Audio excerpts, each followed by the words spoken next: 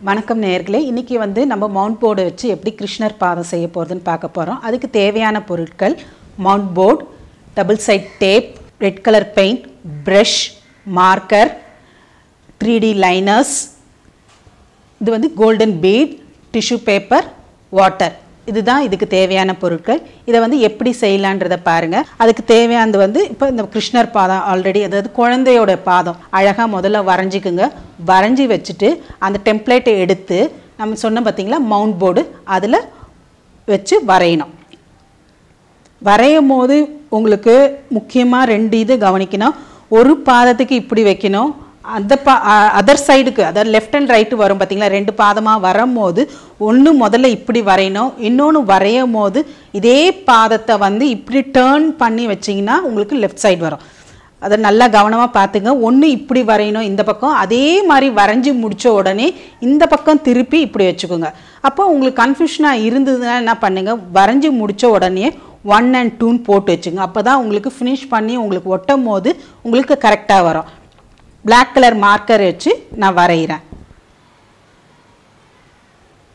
பிகினர்ஸாக இருந்து கன்ஃபியூஷனாக இருந்தீங்கன்னா என்ன பண்ணுங்கன்னா உங்களுக்கு டக்குன்னு என்ன பண்ணுங்க பேக் சைடில் இது வந்து மவுண்ட் போர்டு வந்து ஒரு பக்கம் ஒரு கலராக இருக்கும் மறுபக்கம் வேறு கலர் இருக்கும். சில டைமில் ஃபுல் அண்ட் ரெண்டு சைடுமே ஒயிட்டாகவும் கிடைக்கும். அது நம்மளுடைய ஆப்ஷன் அப்படி உங்கள் ஊரில் மவுண்ட் போர்டு கிடைக்கலன்னா என்ன பண்ணுங்கன்னா நம்ம சாரீஸு இல்லை ப்ரீஃப்ஸ்லாம் வாங்கும் போது நம்ம அட்டை வரும் பார்த்தீங்களா ஒயிட் கலரில் ஒரு அட்டை வரும். ஸோ அந்த அட்டையில் கூட நீங்கள் வச்சு நீங்கள் பண்ணலாம். அந்த அட்டையிலையும் பண்ணலாம். இல்லை நம்ம பேக்கேஜில் வரும் பார்த்தீங்களா ப்ரௌன் கலர் அட்டையில். அதில் கூட நீங்கள் ஒயிட் பெயிண்ட்டோ இல்லை ரெட் கலரோ வச்சு கூட அடிச்சுக்கலாம். இப்போ இதை வரைஞ்சி முடித்த உடனே அழகாக சிசரில் வச்சு அழகாக கட் பண்ணிக்கோங்க.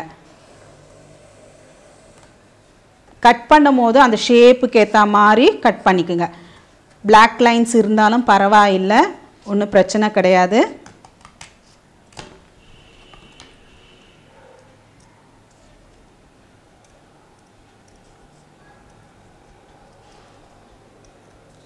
என்ன ஷேப்பில் வரைஞ்சோமோ அதே ஷேப்பில் அழகாக உங்கள் சிசதை அழகாக கொண்டு வந்து அழகாக வெட்டிடுங்க.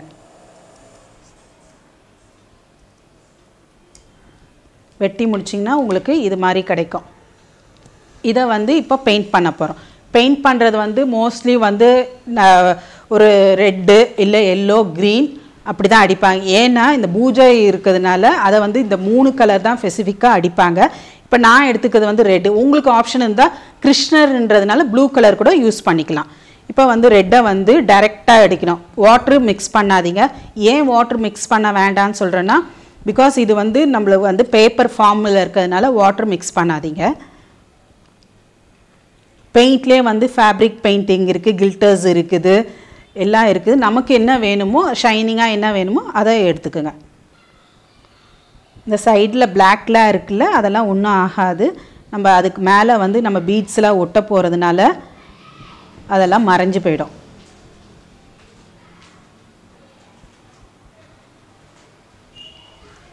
பெயிண்ட்டை ஈவனாக அடிச்சிட்டிங்கன்னா சீக்கிரமாக காஞ்சிடும்.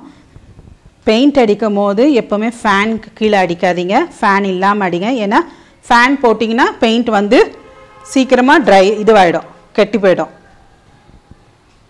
அடித்து முடித்தோடனே ஒரு டூ ஆர் ஃபைவ் மினிட்ஸ் வந்து நீங்கள் ட்ரையிங் டைம் கொடுங்க. ட்ரை ஆகி முடித்த உடனே அதுக்கு மேலே வந்து நான் சொன்னேன் பார்த்தீங்களா அந்த கோல்டன் பீடு கார்னரில் ஒட்டணும். இப்போ என்ன சைஸோ அதுக்கு தகுந்த மாதிரி வெட்டி வச்சுக்கோங்க. வெட்டி வச்சுட்டு வெள்ளைப்பசை எடுத்து அந்த கார்னரில் நம்ம ஒட்டணும். பாதத்தோட கார்னர் இருக்குது பார்த்தீங்களா அதில் வந்து நீங்கள் வெள்ளைய பசையை வந்து அழகாக அதே ஷேப்பில் கொண்டு வரணும்.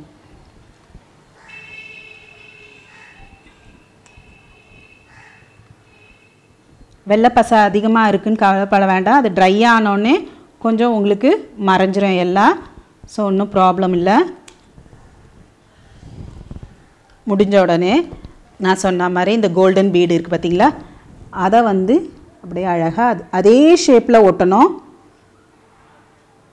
அப்போ தான் முடியும் போது உங்களுக்கு அழகாக வரும்.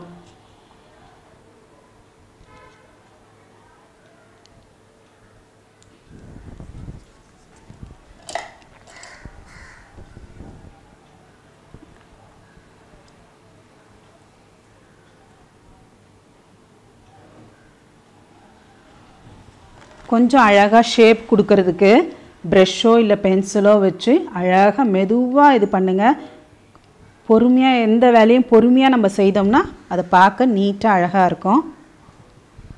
இது மாதிரி ஒட்டி முடிச்சிடுங்க. ஒட்டி முடிச்சுட்டு ஒரு டென் டு ஃபிஃப்டீன் மினிட்ஸ் அது இது காய விடுங்க. காஞ்சாதான் அதுக்கப்புறம் அடுத்த வேலை செய்ய முடியும். இப்போ அது காஞ்ச பீஸை உங்களுக்கு காட்டுறேன். காஞ்ச பீஸ் பார்த்தீங்கன்னா நல்லா இருக்கும் பாருங்கள் அழகாக அதே ஷேப்பில் உங்களுக்கு இருக்குது. இங்கே நடு பாதம் இருக்குது பார்த்தீங்களா? அதில் வந்து சும்மா சின்னதாக ஒரே ஒரு சஸ்டிக் போடணும்.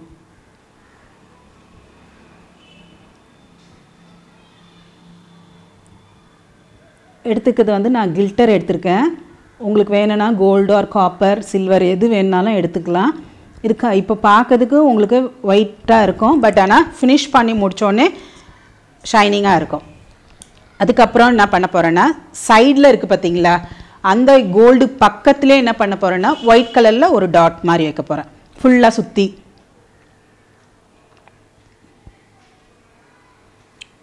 இதில் ஏன் இந்த ஒர்க்கெலாம் இப்படி பண்ணுன்னா மேலே மேலே கொஞ்சம் நீங்கள் பண்ண பண்ண அதோடைய ஆர்ட்டே வந்து பார்க்கறதுக்கு ரொம்ப அழகாக இருக்கும் முடிஞ்ச உடனே.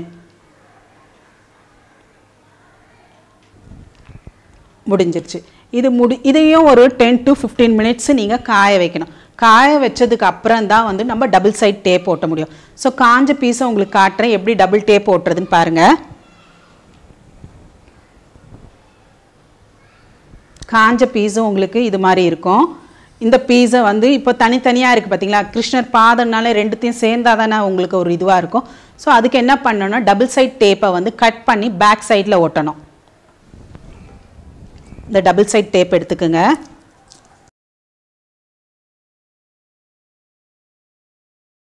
டபுள் சைட் டேப் எடுத்து இந்த கிருஷ்ணர் பாதம் இருக்குது பார்த்தீங்களா? அதை வந்து இப்படி ஒட்டணும். இதில் வந்து ரெண்டு பக்கமும் இருக்கும் கம் இருக்கும். ஸோ ஒரு பக்கம் வந்து ஒட்டிடணும் நம்ம. இன்னொன்று பக்கம் வந்து இந்த பேப்பரை வந்து எடுக்காதீங்க.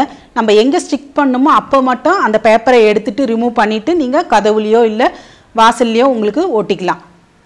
பார்த்தீங்கன்னா உங்களுக்கு ஃபினிஷ் ப்ராடக்ட் இது இருக்குது கிருஷ்ணர் பாதம் செய்யலாம் இல்லை துளசி மாடம் இல்லை கலசம் இல்லை நம்ம மா மாயிலை தோரண மாதிரி கூட செய்து நம்ம வாசலில் அழகாக மாட்டலாம். அதாவது இப்போ நான் ஒன்றே ஒன்று சொல்லியிருக்கேன் பார்த்தீங்களா மாயில தோரணம்னும் போது ஒரு ஒம்பது இல்லை பத்தோ நீங்கள் அழகாக செய்துட்டு வாசலில் வந்து சணல்லையோ இல்லை நூல்லையோ கட்டி கூட நீங்கள் தொங்க விடலாம். பார்க்கறதுக்கு ஒன்றும் அழகாக இருக்கும். உங்களுக்கு அந்த பீஸையும் காட்டுறேன். நீங்கள் பார்த்தா தான் உங்களுக்கு அதோடைய இது புரியும் உங்களுக்கு.